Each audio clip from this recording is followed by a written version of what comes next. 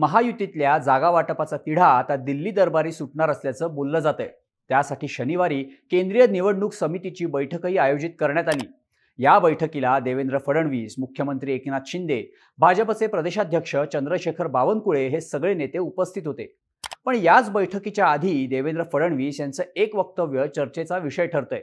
महायुतीचं जागा वाटप ऐंशी टक्के पूर्ण झालंय. वीस टक्के काम आम्ही येत्या एक दोन दिवसात पूर्ण करू. आणि तीन पक्षांमधलं जागा वाटप आम्ही जाहीर करू असं फडणवीस म्हणाले. आता राज ठाकरेंनी अमित शहांची भेट घेतल्यानंतर मनसे महायुतीत येईल असं जवळपास निश्चित मानलं जात होतं. पण तीन पक्षांचं जागा वाटप आम्ही जाहीर करू या फडणवीसांच्या विधानामुळं मनसे महायुतीत येईल या चर्चांना पूर्णविराम मिळालाय का असा प्रश्न निर्माण होतोय. आता फडणवीसांच्या या विधानाचा नेमका अर्थ काय? मनसेचा महायुतीतला समावेश या फक्त चर्चाच राहिल्यात की अजून काही? त्याचीच माहिती या व्हिडिओतून घेऊयात. नमस्कार मी शार्दूल आणि तुम्ही बघताय बोल भिडू. फडणवीसांच्या विधानाचा अर्थ काढायचा झाला तर पहिली शक्यता म्हणजे मनसेला मिळणाऱ्या जागा. अमित शहांसोबत झालेल्या भेटीमध्ये राज ठाकरेंना दक्षिण मुंबई लोकसभेच्या जागेचा प्रस्ताव दिल्याचं सांगण्यात आलं. पण राज ठाकरेंनी हा प्रस्ताव फेटाळत दोन जागांची मागणी केली. आता तिन्ही पक्षांमध्ये जागा वाटपावरून आधीच रस्सीखेच असताना राज ठाकरेंच्या दोन जागांच्या मागणीमुळं मोठा पेच निर्माण झाला.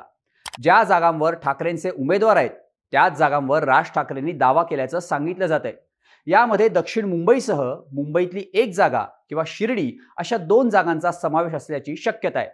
आता मुंबईत ठाकरे गटाला दक्षिण मुंबई दक्षिण मध्य मुंबई उत्तर पश्चिम मुंबई आणि उत्तर पूर्व मुंबई या जागा तसंच शिर्डीची जागा ठाकरेंना सुटू शकते. ठाकरेंच्या या जागांपैकी उत्तर पूर्व मुंबईत भाजपनं आधीच उमेदवार जाहीर केलाय. दक्षिण मुंबईच्या जागेवरही भाजपनं क्लेम केला होता. पण मनसे आली तर ही जागा मनसेला मिळेल. त्यामुळं आता राहिला मुद्दा दक्षिण मध्य मुंबई आणि उत्तर पश्चिम मुंबई आणि शिर्डी या जागांचा. या तिन्ही जागांवरचे स्टँडिंग खासदार शिंदे गटात आहेत. त्यामुळं मनसेला शिंदेच्या कोट्यातल्या या तीन जागांपैकी एक जागा सुटण्याची शक्यता आहे. त्यामुळंच फडणवीसांनी मनसेचा वेगळा उल्लेख केला नसण्याची शक्यता वर्तवली जाते. फडणवीसांच्या विधानामागचा दुसरा अर्थ निघतो तो म्हणजे मनसेचे उमेदवार इंजिन सोडून दुसऱ्या चिन्हावर लढण्याची शक्यता. राज ठाकरेंचे उमेदवार महायुतीतल्या एखाद्या चिन्हावर निवडणूक लढवण्याचा प्रस्ताव देण्यात आल्याचं शिंदे गटाचे मंत्री दीपक केसरकर यांनी म्हटलं होतं. त्यामुळे राज ठाकरेंचे उमेदवार रेल्वे इंजिन यार्डात ठेवून कमळ किंवा धनुष्यबाणाच्या चिन्हावर निवडणूक लढवतील अशी शक्यता वर्तवली गेली. आता राज ठाकरेंनी हा प्रस्ताव मान्य केला नसल्याचं बोललं गेलं. त्यानंतर शुक्रवारी उपमुख्यमंत्री देवेंद्र फडणवीस मुख्यमंत्री एकनाथ शिंदे आणि मनसे अध्यक्ष राज ठाकरे यांची मुंबईत भेट झाली. या भेटीनंतर राज ठाकरेंनी मनसेच्या पदाधिकाऱ्यांची बैठक घेऊन चर्चा केली. त्यामुळे या भेटीदरम्यान दुसऱ्या चिन्हावर निवडणूक लढवण्याचा प्रस्ताव मान्य झालाय अशीही शक्यता निर्माण करण्यात आली. त्यामुळंच कदाचित फडणवीस यांनी तीन पक्षांचं जागा वाटप असं विधान केलं असल्याची शक्यता आहे. पण स्वतःच्या पक्षाला उभारी देण्यासाठी राज ठाकरेंना आपल्याच चिन्हावर निवडणूक लढवणं गरजेचं आहे. त्यामुळे हा प्रस्ताव राज ठाकरेंनी स्वीकारण्याच्या शक्यता कमीच दिसतात. फडणवीसांच्या विधानामागचा आणखी एक अर्थ म्हणजे शिर्डीच्या जागेवरून अडलेलं घोडं.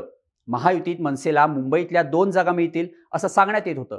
पण शिर्डी लोकसभेसाठीही मनसे आग्रही असल्याचं सांगण्यात येत आहे शिर्डीतून राज ठाकरेंचे अत्यंत विश्वासू अशा बाळा नांदगावकरांना उमेदवारी देण्याची मागणी मनसेच्या कार्यकर्त्यांकडून करण्यात येते. शिर्डी लोकसभा मतदारसंघ अनुसूचित जातींसाठी राखीव आहे. नांदगावकर चर्मकार समाजातून येत असल्यामुळं शिर्डी लोकसभा मतदारसंघ त्यांच्यासाठी सेफ मानला जातोय. नांदगावकरांनी शिवसेनेत असताना नगर जिल्ह्याचे संपर्क प्रमुख म्हणून काम केलं होतं. त्यामुळं नांदगावकर हे शिर्डीकरांसाठी ओळखीचा चेहरा आहेत. तसंच मनसेला राज्यात पक्षाची बांधणी करण्यासाठी मुंबई बाहेर एखादी जागा लढवणंही महत्वाचं आहे. म्हणूनच बाळा नांदगावकर यांच्या उमेदवारीचा मनसेनं हट्ट धरल्याचं समजतंय. पण शिर्डीचे विद्यमान खासदार सदाशिव लोखंडे हे शिंदेच्या शिवसेनेत आहेत. लोखंडे शिर्डीचे सलग दोन टर्म खासदार आहेत. आता शिंदेकडे चाळीस आमदार आणि तेरा खासदार असतानाही आधीच मनसेच्या एंट्रीमुळं शिंदेच्या सेनेला मुंबईतल्या एका जागेवर कॉम्प्रोमाइज करावं लागण्याची शक्यता आहे. पण राज्यात फक्त एकच आमदार असलेल्या मनसेला शिर्डी लोकसभेची जागा द्यायला शिंदे गट तयार नसल्याचं समजतंय. त्यामुळंच या जागेच्या वादावरून मनसेचा महायुतीतला प्रवेश बारगळलाय का अशी शक्यता निर्माण होते. आता आणखी एक मुद्दा म्हणजे राज ठाकरेंना सोबत घेऊन चुकीचा मेसेज जाण्याची भाजपला असलेली भीती. राज ठाकरे आणि अमित शहांच्या भेटीनंतर ठाकरे गटाकडून भाजपवर जोरदार टीका करण्यात येते. महाराष्ट्रात मतं मोदींच्या नावानं नाही तर ठाकरेंच्या नावानं मिळतात. म्हणून बाळासाहेब ठाकरेंचा फोटो चोरला. आता आणखी एक ठाकरे चोरण्याचा प्रयत्न केला जातोय अशी टीका उद्धव ठाकरेंनी जाहीर सभेत केली होती. त्यामुळं शिवसेना पक्ष आणि चिन्ह असलेले शिंदे सोबत असूनही ठाकरे ब्रँडसाठी राज ठाकरेंना भाजप जवळ करत असल्याचं चित्र निर्माण होत आहे भाजपला स्वतःला आपल्या चिन्हावर आणि मोदींच्या नावावर महाराष्ट्रात जिंकून येण्याची खात्री नसल्यामुळं राज ठाकरेंचा आणि त्यांच्या ठाकरे बाण्याचा भाजप वापर करत असल्याचं नरेटिव्ह ठाकरे गटाकडून सेट केलं जात आहे निवडणुकीला महिन्याभरापेक्षाही कमी काळ असताना हा मेसेज लोकांमध्ये जाणं भाजपला परवडणार नाही. त्याचा परिणाम मतदानावर होऊ शकतो अशी भाजपला भीती आहे. त्यामुळे एक दोन जागांसाठी भाजप मनसेला सोबत घेण्याची रिस्क घेणार नाही असं बोललं जात आहे म्हणूनच तीन पक्षांचं जागा वाटप आम्ही पूर्ण करू या फडणवीसांच्या विधानामागचे हे अर्थ काढता येतात.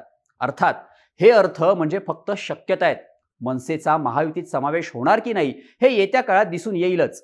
पण फडणवीसांच्या ह्या विधानामागचे तुम्ही काढलेले अर्थ आम्हाला कमेंट करून नक्की सांगा. आणि अशाच माहितीपूर्ण व्हिडिओजसाठी बोल व्हिडिओच्या यूट्यूब चॅनलला सबस्क्राईब करायला विसरू नका.